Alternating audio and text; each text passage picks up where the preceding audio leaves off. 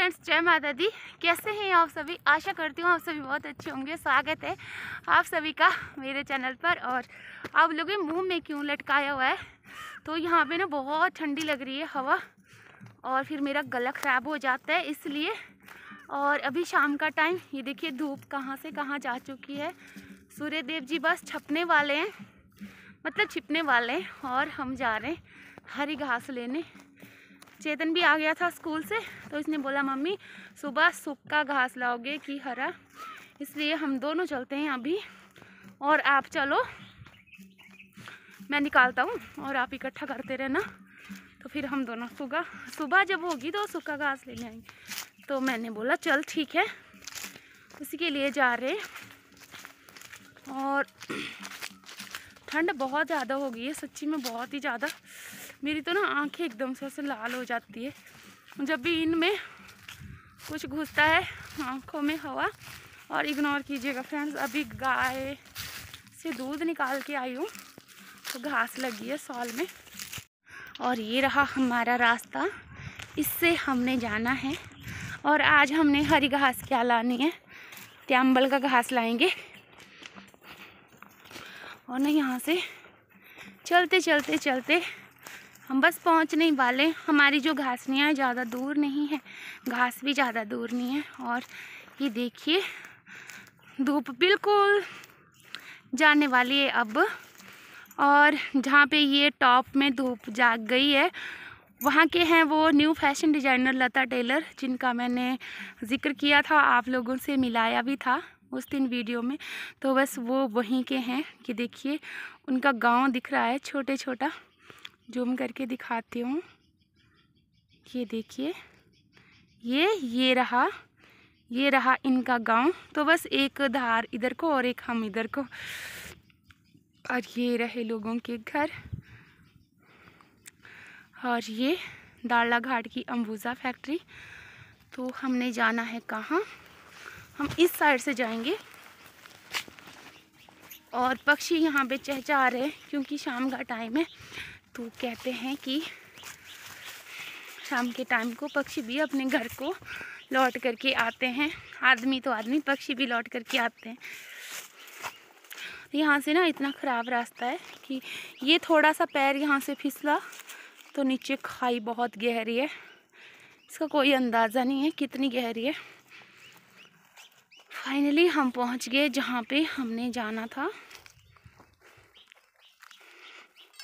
लोगों के घर चमक रहे हैं सामने।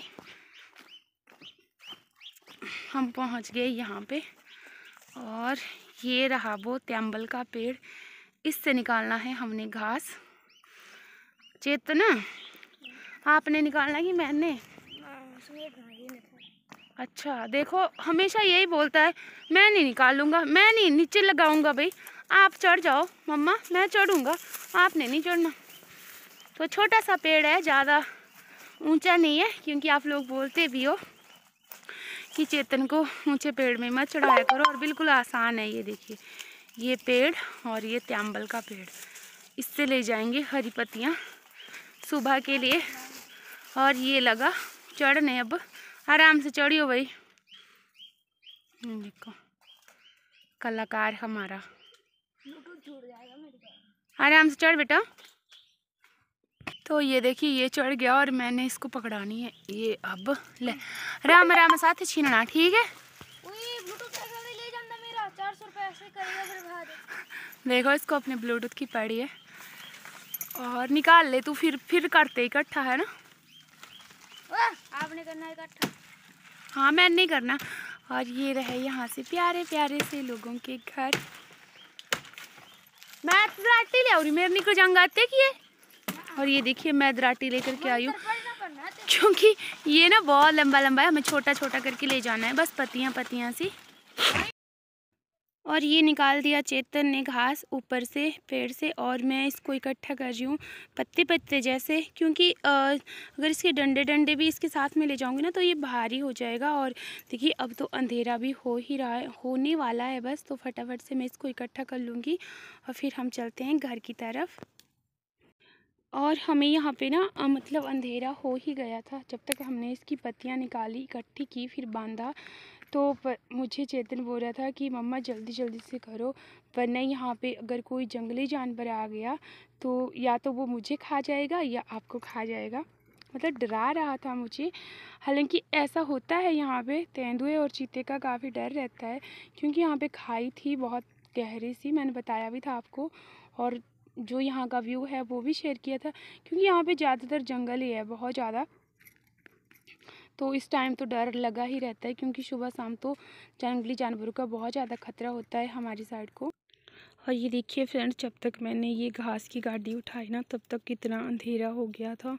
और चेतन पीछे पीछे था। हमने एक ही गाड़ी करी। उसके पास मैंने लकड़ियाँ दे दी थी सूखी कि अब हम चल पड़ते हैं जल्दी जल्दी क्योंकि घर में जाना है, खाना भी बनाना है और पशुओं को घास भी डालनी है। हालाँकि ये जो मेरे पास घास है, ये तो हमने सुबह देना है। जब पशुओं को बाहर धूप में बाँध देंगे तब तो अभी तो इसको रख देंगे। पर अभी और काम भी तो करने पड़ेंगे। घर में जा कर के खाना बनाना पड़ेगा। और ये देखिए, फिर हम चल पड़े थे ऊपर ऊपर की तरफ़, यानी कि घर की तरफ़।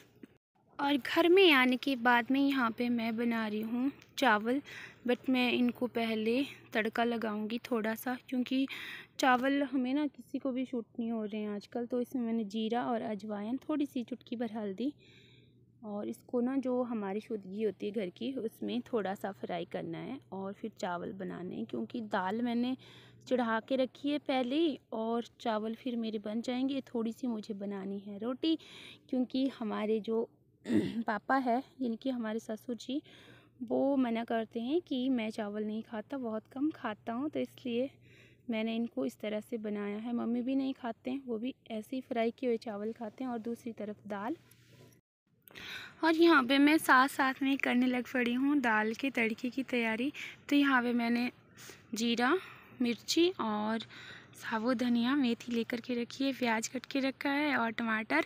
और हाँ मिर्ची मैंने अपने घर की है, ये लगती नहीं है, इसलिए थोड़ी ज़्यादा दिख रही होगी आपको।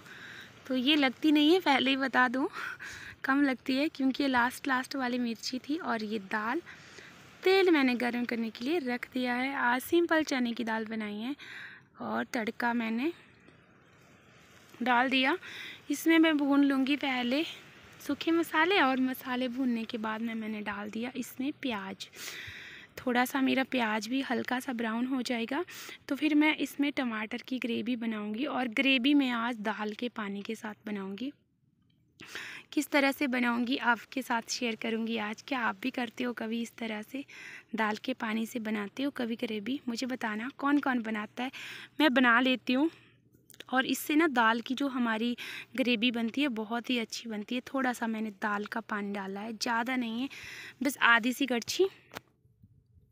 और इसको मुझे इसमें अच्छी तरह से पकाना है। मेरे जो टमाटर है, वो अच्छी तरह से गल जाएँगे इसमें थोड़ी देर बाद। कि देखिए किस तरह से मिक्स हो गए हैं, गल गए हैं मेरे टमाटर पूरे। क्योंकि आजकल ना टमाटर भी ऐसे ही आ रहे हैं तो वो गलते नहीं है जल्दी।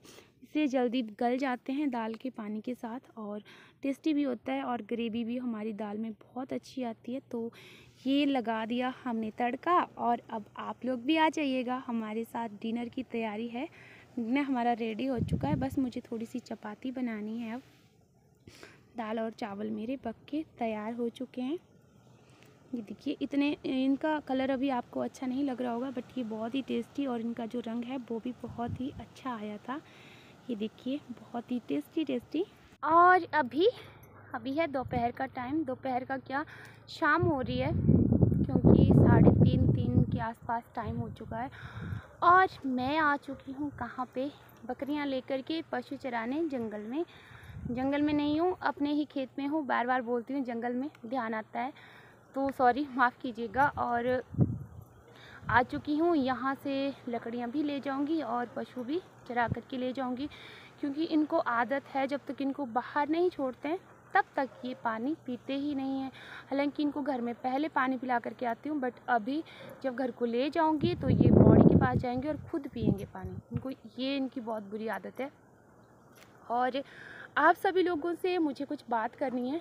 मुझे किसी ने कमेंट किया था दो लोग, तीन लोगों ने शायद। तो उनके कमेंट्स का मैं रिप्लाई ज़रूर दूँगी।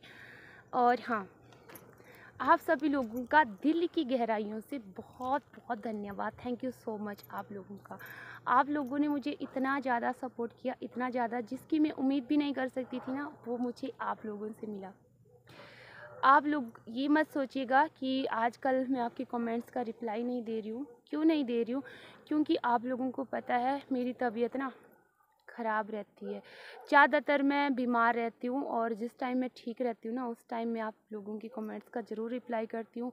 और फिर शाम के टाइम ऐसे होता है ना कि मेरे साथ वंश हुआ है तो फिर वो मुझे तंग करने लगता है, मम्मा ये करो, मेरा वो करो। तब भी मुझे कई बार टाइम नहीं लगता। और आजकल मैं क्या सोच रही थी कि आजकल मैं सोच रही थी कि मेरे जो सर्वाइकल दर्द है, उसका आराम हुआ है बट उसके पीछे ना पहले बुखार रहा, फिर वो सुधरने लगा, तब तक मुझे फ़ूड पॉइजनिंग हो गया। वो सुधर रहा है तो अब सोच रही हूँ, अब पता नहीं कौन सी बीमारी टपक के जाएगी। बट होता ही है, जब कोई इतना मतलब एकदम से बीमार हो जाता है ना तो ठीक होने के लिए उसको बहुत टाइम लगता है। हमारे देखो, अभी वंशु को पंद्रह दिन होने लगे, वो भी अभी पूरी तरह से ठीक नहीं हुआ है। मैं भी पूरी तरह से ठीक नहीं हुई हूँ।